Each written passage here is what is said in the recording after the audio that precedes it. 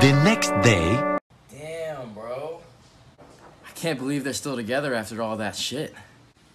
Who? My ass cheeks?